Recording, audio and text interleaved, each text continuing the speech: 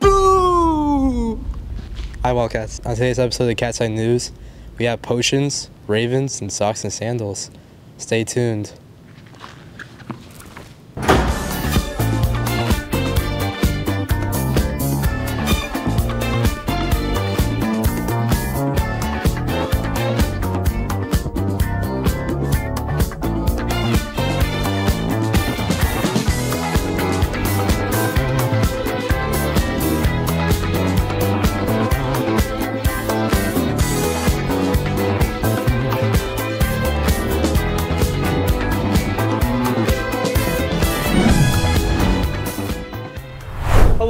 Is Neil. I'm here with yesterday's mock election results. Since Novi High School is legally not one of the 50 states in the United States or the District of Columbia, we did not have an electoral college system. All candidates were either elected or not elected through a truly popular vote. Here we go. There were a total of 727 qualifying ballots cast. The proposal to approve funding for parks was passed with 82.2% yeses. School Board. Klebert won 38% of the vote, Smith had 35.4%, and Roney got 26.5% of the votes. Democrat Kelly Breen won the state rep position with 64.4%. Democrat Debbie Dingell won the House rep position with 59.4%. Democrat Elissa Slotkin won the Senate position with 53.6%.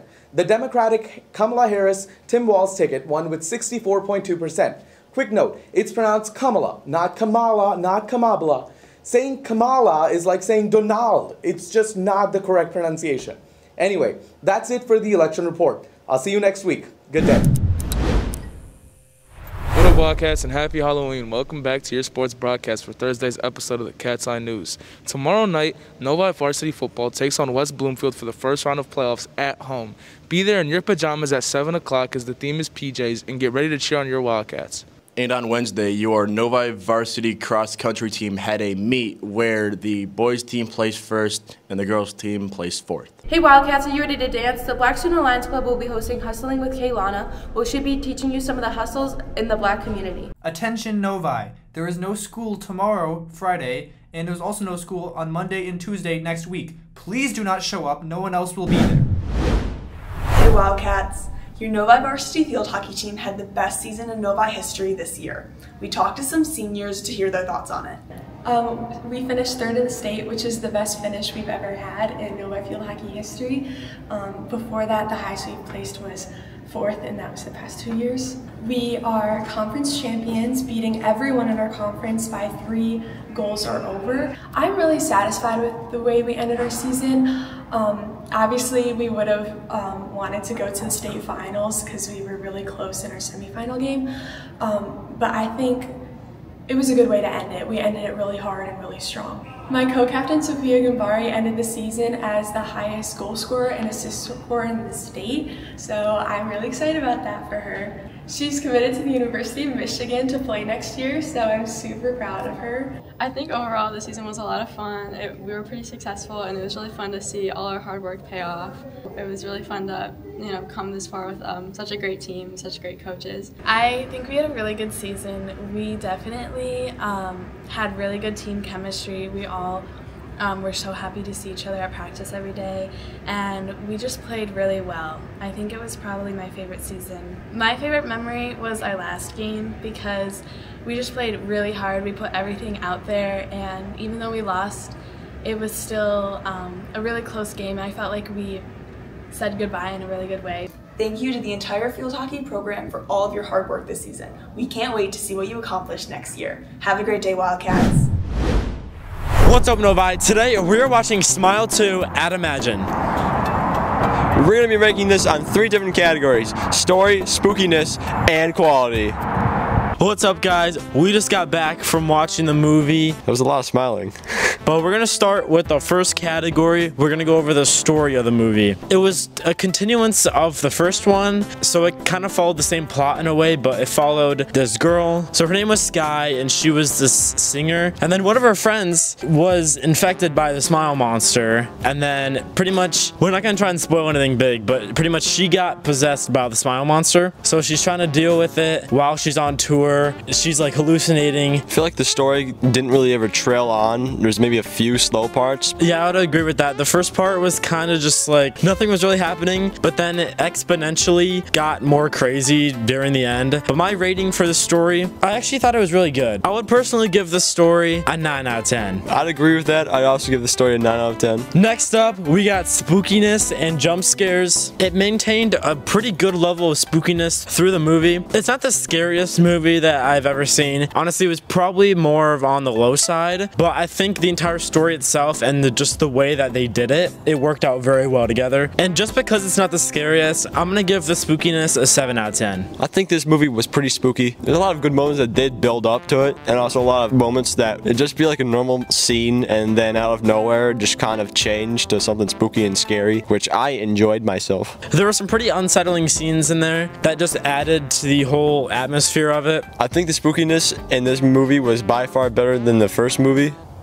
Mm-hmm. I'll give this one an 8 on the spook scale. Alright, our final category, we have quality. Now, I actually thought it was very good. I thought the CGI in this movie was really good. It was really impressive. The smiling was pretty nice. The smiling monster, it was done very well. It was very spooky. I like the different camera angles they used. They did some first person shots. That definitely upped the spookiness. All the actors were very good actors.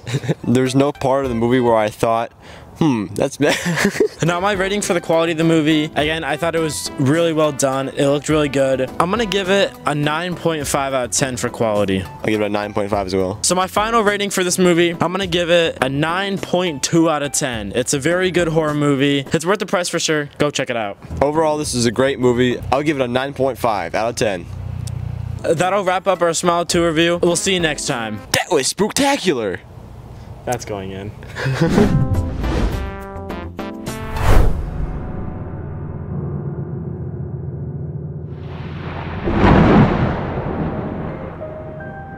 We are here at the Novi Cemetery, right by Novi Road. It is a walkable distance from the water tower or the racetrack. And it might sound surprising, but there are roughly 948 known graves on about 2.4 acres of land just along the Novi Road. A lot of these graves also have fraternity badges, and my favorite was the Independent Order of Odd Fellows. According to several sources online, the IOOF is an international fraternity with roots tracing back all the way to the 17th century England where working class people created groups to provide help to each other.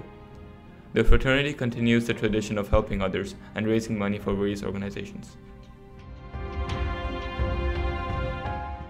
As per the City of Novi website, this cemetery was donated by early Novi settler Daniel Lee.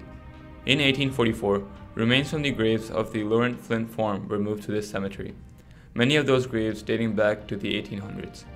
It was then expanded to its current size in 1873 and was renamed the Novi Cemetery. I personally find the cemetery interesting because of its historical value. Many veterans are buried here, including those who served in the Revolutionary War, the War of 1812, the Civil War, World War I and II, the Korean War, and the Vietnam War. It is also quite sad to see how many people die young. So many died roughly at the age of 25 during the 1800s, and that simply makes me think about how fortunate we are to be able to live longer. Most of the tombs have intricate designs or fonts, but there are some that are simply blank. There are also some unusual tombstones with phrases, such as this one that says failure, which I do believe may have a deeper meaning, but I haven't looked much into.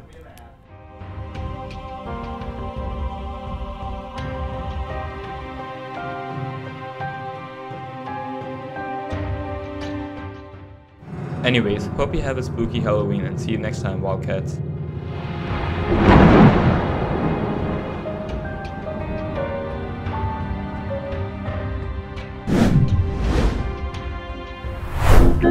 Hi, I'm Vanessa, and I'm here with Eric Scobie. And what do you teach here? Uh, I teach civics, economics, sociology, uh, AP government. I'm the Model UN Politics Club and Youth and Government Advisor. And what's an unpopular opinion you may have? My unpopular opinion, ladies and gentlemen, is that the 28th Amendment to the United States Constitution should ban the production, distribution, and manufacturing of country music. I'm Vanessa, and I'm here with uh, Miss Molnar. And what do you teach here? I teach yoga and weight training right now. And what's an unpopular opinion you have? The socks and sandals look slash socks and crocs look is like a no no. Big no. What's up, Novi? Today we are here at Dunkin' Donuts to review the team potion drop. There's two new drinks and two new donuts. Let's go check them out. What's up, guys? We're back as well. Yeah, we're back, and we're gonna do this again. What's up, guys? We just got back, and we are ready to review. First up, this is the potion macchiato. I got the warm one. They got the cold ones, so we're gonna be ranking those. So let's start with the warm. I'm not the biggest fan of coffee, but this is actually very good. Coffee? Jack. I'm gonna give the warm macchiato an 8.5 out of 10. Oh, it kind of tastes like it smells. It's actually not that bad. I like it. I think it's pretty good. I really liked like the flavor. You could tell it's coffee, but it's got a nice sweet flavor to it, like down at the bottom. Um, I'll give it a 9 out of 10. So what I was tasting was the syrup at the bottom. Took a taste of the coffee and it's really bad. The syrup's good. So for that part, I think I'm gonna give it a 5. I kind of like it. I really like it, if I'm being honest here. I'd give it a good old 9.25 out of 10. The ice one is a bit better than the warm one. I'm gonna give the ice one a 9 out of 10. All right, next up we got the spider donut, and in the time that we got it and got back here, they kind of fell apart a little bit. Graydon's inside. His is inside. Mine has so many like fingerprints on it. They're not from me. It tastes like a normal donut. That's spooky, all right. It just tastes like a normal donut with a chocolate donut on top. That's not saying it's bad though. It's good. It's just kind of boring. I give it like a six. There's like nothing different flavor-wise at all. It's really just Whoa, spider. So I'll give it a 7 out of 10. There's nothing different flavor-wise. They changed the design of it, but it tastes the exact same, so there's really nothing special about it. I'm gonna give it a 7 out of 10. It's a donut and it's spooky.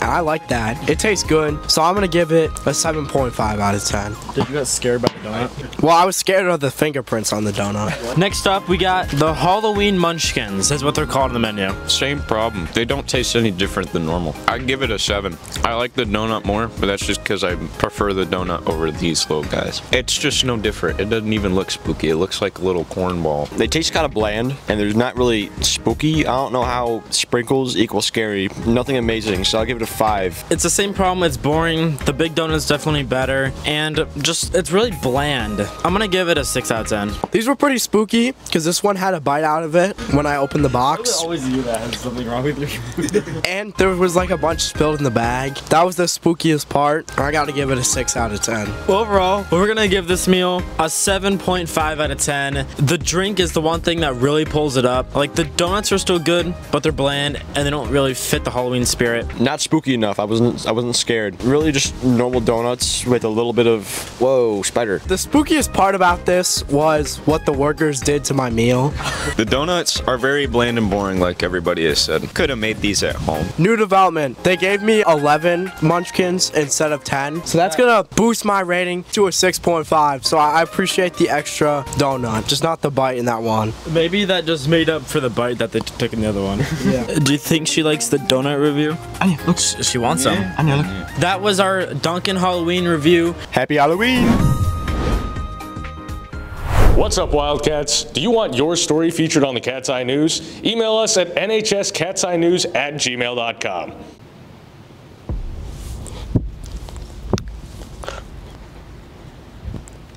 You like that little boogie I hit, Wildcats? Yeah, me too.